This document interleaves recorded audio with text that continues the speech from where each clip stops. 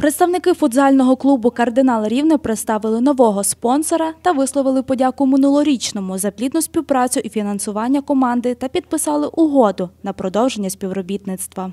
Ми сьогодні зібралися для того, щоб в першу чергу подякувати е, минулорічному нашому титульному спонсору і е, пролонгувати угоду ще на один рік, ще на один сезон. Дуже вдячний керівнику компанії, е, групи компаній Інтербетон, е, пану Чебараю Юрію, і з приємністю хочемо підписати, знову пролонгувати наш договір е, на цей сезон. На цей сезон. І, звичайно, надіємося, що ви будете нас, нас підтримувати далі.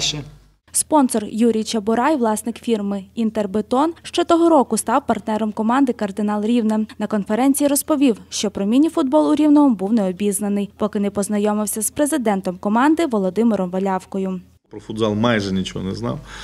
До речі, це взагалі окреме життя, це окрема ліга, це дуже цікава, мега насичена, сконцентрована гра, тому що вона сконцентрована в на меншій площі, ніж великий футбол, тому там концентрація емоцій набагато вища. Новим спонсором команди став Сергій Шевченко, директор рекламно-маркетингової компанії Неомарк, з яким також була підписана угода про співпрацю. Чому захотів е, долучитися до спонсорства кардинала? Тому що це, в принципі, ну, повторюся, як казав Юрій Миколайович, це, попавши один раз на міні- міні-футбол, е, я, я зрозумів, що там ну, про, просто там стільки емоцій за- за- зашкалює.